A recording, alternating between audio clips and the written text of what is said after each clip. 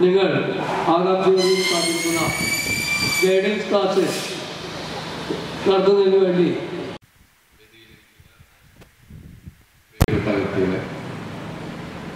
സ്നേഹം നിറഞ്ഞ വിദ്യാർത്ഥികളെ വിദ്യാലയത്തിലെ വിജയ ശതമാനം എത്രയാണെന്ന് നിങ്ങളൊന്ന് ആലോചിച്ചു. നൂറ് ശതമാനം വിജയ ശതമാനമുള്ള സ്കൂളിലെ കുട്ടികളായിരിക്കും പരീക്ഷ വരെ ഒരു കുഴപ്പം കുഴപ്പമുണ്ടായിട്ടില്ല അല്ലെ? നമ്മൾ പാസ്സായത് പോലും അറിഞ്ഞിട്ടില്ലായിട്ടുള്ളത് അതിനാണ് നമുക്ക് നമ്മുടെ ചുറ്റുപാടുകളെ അറിയാൻ കഴിയണം അങ്ങനെ അറിയുന്ന ഒരു വിദ്യാഭ്യാസത്തിലൂടെ കടന്നു പോകുമ്പോൾ മാത്രമേ നമുക്ക് നിലനിൽക്കുള്ളൂ. അല്ലെങ്കിൽ അടുത്ത പ്രളയം വരുമ്പോൾ നമ്മളെല്ലാവരും ഒഴിച്ചു. അല്ലെ? ഒരു പ്രളയത്തിനകത്ത് നമ്മൾ പിടിച്ചു നിന്നത് പരസ്പരം അങ്ങോട്ടും ഇങ്ങോട്ടും അറിയാവുന്നതുകൊണ്ടാണ്. മതിലുകളൊക്കെ കെട്ടിപ്പടുത്തിട്ടുണ്ടെങ്കിലും നമുക്കിടയിൽ സ്നേഹവും സൗഹൃദവും ഒക്കെ ഉണ്ടായതുകൊണ്ടാണ്. അതില്ലായിരുന്നുവെങ്കിൽ അല്ലെ? തിരിച്ചറിവില്ലായിരുന്നുവെങ്കിൽ ഈ പറഞ്ഞ പോലെ ഒരു മുറിക്കകത്ത് അല്ലെങ്കിൽ ഒരു വീട്ടിനകത്ത് മാത്രം അടഞ്ഞുകൂടി ജീവിക്കുന്ന ആൾക്കാരായിട്ട് നമ്മൾ മാറിയിരുന്നെങ്കിൽ അങ്ങനെ മാറിക്കൊണ്ടിരിക്കുന്ന ഒരു ലോകത്താണ് നമ്മൾ ജീവിക്കണമെന്ന് ആലോചിക്കുക. അയൽവാസിയെ പോലും തിരിച്ചറിയാൻ കഴിയാത്ത ഒരു ലോകത്താണ് ജീവിച്ചുകൊണ്ടിരിക്കുന്നത്. അവിടെയാണ് നമ്മുടെ വിദ്യാഭ്യാസത്തിന്റെ സാമൂഹിക മാ- എങ്ങനെ പ്രിപ്പയർ ചെയ്തത് അതൊന്നും പറയാനല്ലേ പല കുത്തനെ നിന്ന് എത്ര ദിവസം എന്തെല്ലാം കാണാപ്പാടം പഠിച്ചിട്ടുണ്ട് അല്ലേ? കിടന്നു പഠിച്ചിട്ടുണ്ട് നിന്ന് പഠിച്ചിട്ടുണ്ട് ഇരുന്ന് പഠിച്ചിട്ടുണ്ട് നടന്നു പഠിച്ചിട്ടുണ്ട് അല്ലെ? ദേഷ്യപ്പെട്ട് പഠിച്ചിട്ടുണ്ട് സന്തോഷത്തോടെ പഠിച്ചിട്ടുണ്ട് പാട്ട് പാടി പഠിച്ചിട്ടുണ്ട്.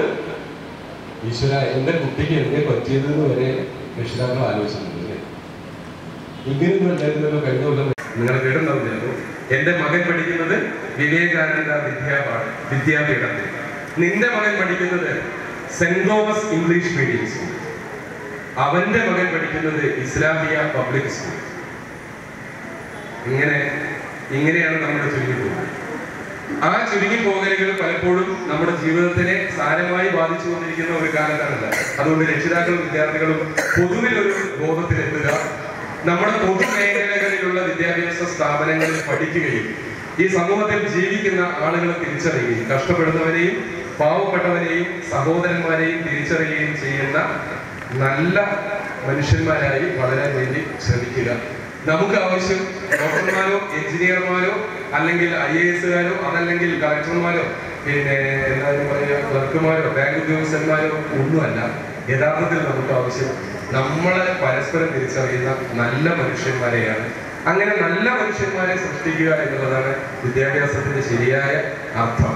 അങ്ങനെ നല്ല മനുഷ്യന്മാരായി നല്ല ആളുകളായി സ്നേഹമുള്ളവരായി വളരാൻ നിങ്ങൾക്ക് എല്ലാവർക്കും കഴിയട്ടെ. അതിന് ഇത്തരം പരിപാടികൾ ഒരുപാട് പ്രചോദനം നൽകുന്ന ഒന്നാണ്. പ്രത്യേകിച്ച് ഒരു എന്താണ് സമൂഹത്തിൽ ഇടപെട്ടുകൊണ്ടിരിക്കുന്ന രാഷ്ട്രീയ ബോധമുള്ള ഒരു സംഘടന. അത് ഏറ്റെടുത്ത് നടത്തുമ്പോൾ തീർച്ചയായിട്ടും അതിന് ഒരുപാട് പ്രാധാന്യമുണ്ട്. ഇനിയും നിരന്തരമായിട്ട് കുറെ വർഷങ്ങളായി നടക്കുന്നു എന്നാണ് പറയുന്നത്. കൂടുതൽ കൂടുതൽ ആളുകളെ ഇങ്ങോട്ട് എത്തിക്കുവാനും ഇവിടെ വെച്ച് ഇതുപോലെയുള്ള അവാർഡുകൾ വ്യത്യസ്ത മേഖലകളിലുള്ള ആളുകൾക്ക് സമ്മാനം കൊടുക്കുവാനും ഈ സംഘടനയ്ക്കും ഈ നാട്ടുകാർക്കും ഇവിടെയുള്ളവർക്കും കഴിയട്ടെ എന്ന് ആശംസിച്ചുകൊണ്ട് ഇവിടെ ഈ വിജയം നേടിയ എല്ലാവർക്കും ജീവിതത്തിൽ ഇനിയും തുടർച്ചയായ വിജയങ്ങളുടെ ഘോഷയാത്ര തന്നെ ഉണ്ടാകട്ടെ എന്ന് പറഞ്ഞുകൊണ്ടും എല്ലാവർക്കും അഭിവാദ്യങ്ങൾ അർപ്പിച്ചുകൊണ്ട് നിർത്തുന്നു.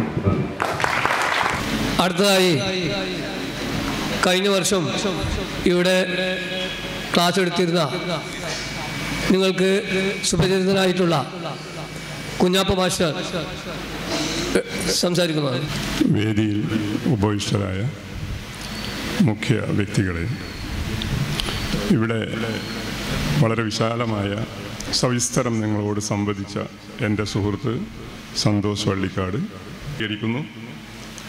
ചില കലാകാരന്മാരെ തിരഞ്ഞെടുത്ത് അവരംഗീകരിക്കുന്നു. എന്ന് പറഞ്ഞാൽ സമൂഹത്തിലെ പ്രശ്നങ്ങളെ സമൂഹത്തിലൂടെ ഇടപെടലുകൾ ആവശ്യമുള്ളിടത്ത് തിരിച്ചറിഞ്ഞ് അവിടെ ഇടപെടുകയും സമൂഹത്തിന്റെ മാനസികാവസ്ഥക്ക് ഒത്ത് ഉയർന്നുകൊണ്ട് പ്രവർത്തിക്കുകയും ചെയ്യുന്നു എന്നുള്ളത് പ്രത്യേകിച്ച് ഞാൻ ഈ സമയത്ത് എടുത്തു പറയാൻ ആഗ്രഹിക്കുകയാണ്. ഒപ്പം തന്നെ കഴിഞ്ഞ വർഷത്തെ ക്ലാസിന്റെ തുടർച്ചയായി സന്തോഷ് വള്ളിക്കാട് ഇവിടെ നടത്തിയ സംസാരം നിങ്ങളുടെ കഴിഞ്ഞ വർഷത്തെ പുതിയ തലമുറയ്ക്ക് കിട്ടി എന്നുള്ളത് വലിയൊരു ഭാഗ്യമായി ഞാൻ കാണുകയാണ്. ക്ലാസ് നിങ്ങൾ ശ്രദ്ധിച്ചിട്ടുണ്ടാവും.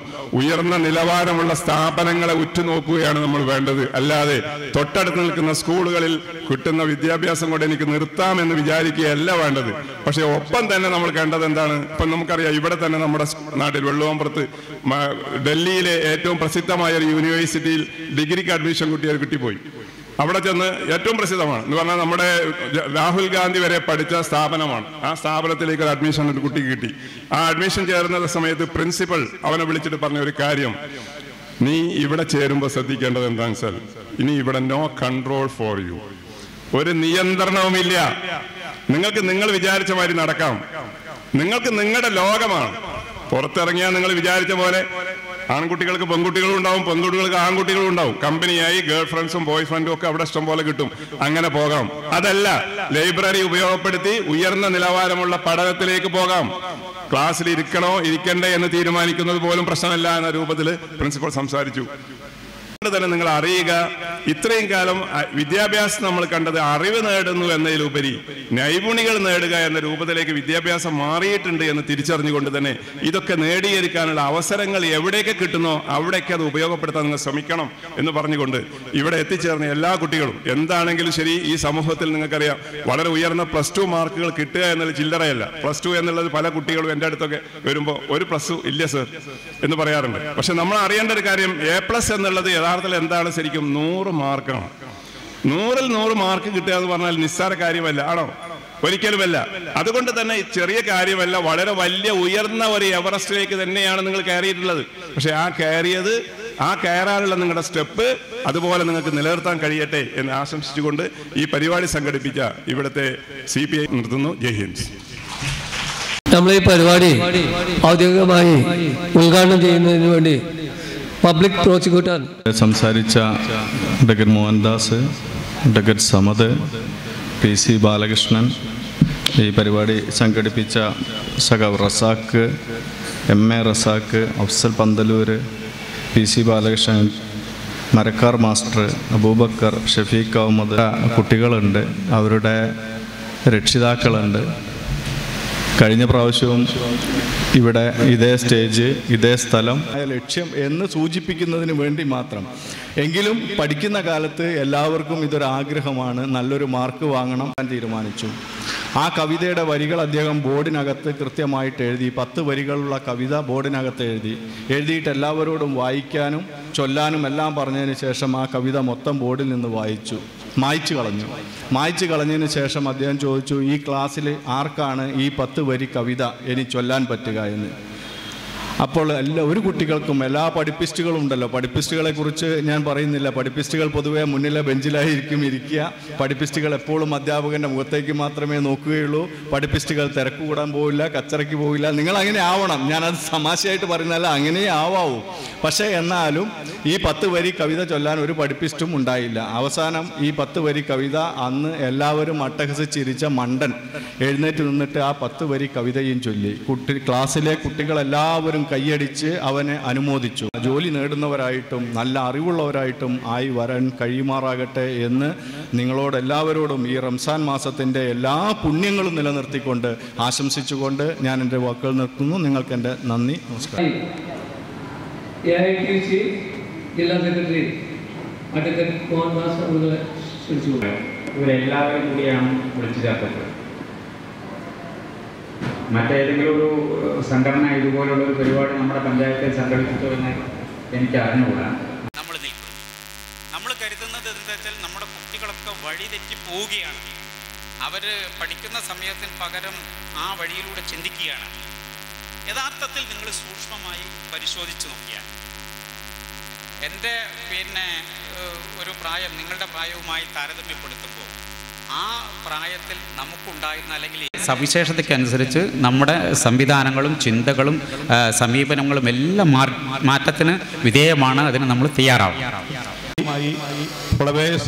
കോമഡി ഉത്സവം മഴവിൽ മനോരമ എന്നീ തകർപ്പൻ കോമഡി പരിപാടിയിൽ മികച്ച പ്രകടനം കാഴ്ചവെച്ച് നാടിന്റെ അഭിമാനമായ മണി അർപ്പകന് ആദ്യമായി അവാർഡ് നൽകുന്നു അഡ്വക്കേറ്റ് കെ മോഹൻദാസ്. സംസ്ഥാന സ്കൂൾ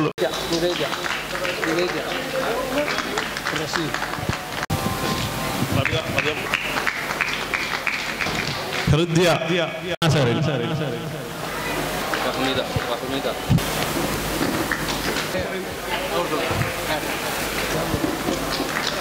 നജ പ്രമീഷ ഷെറിന നൽകുന്നതിന് വേണ്ടി സുരേഷിനെ ക്ഷണിക്കുന്നു Akshay T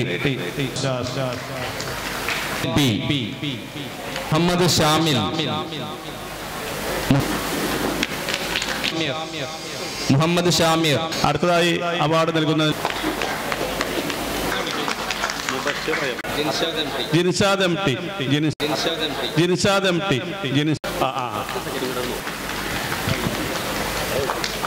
Muhammad Nihal.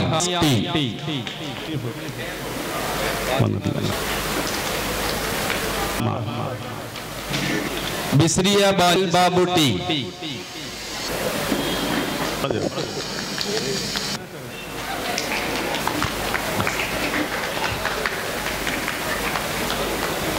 شبل ياكي محمد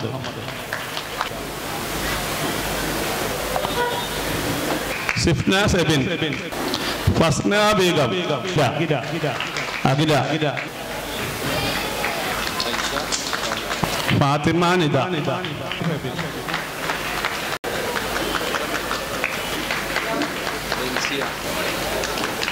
Labeeba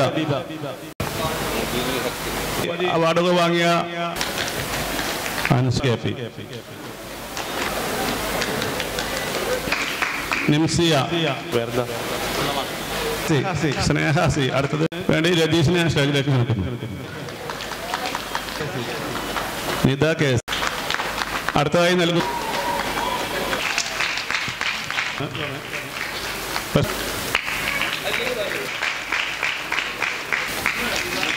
Faisadasni.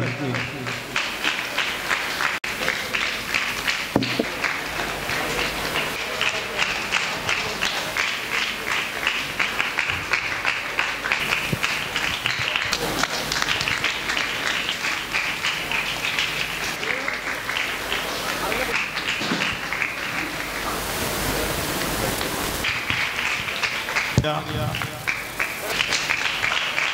Por aí. Por aí. അയാത്ത Afreen എന്ന പംന സാരി.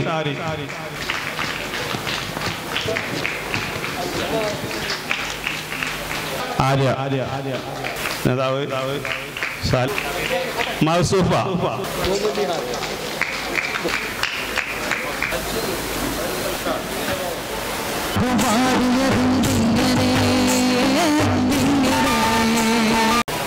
ഈ നാടിന്റെ സാംസ്കാരിക കലാ രംഗത്തും അതുപോലെ തന്നെ രാഷ്ട്രീയ രംഗത്തും ഈ നാടിന് അഭിമാനമായി ഒരുപാട്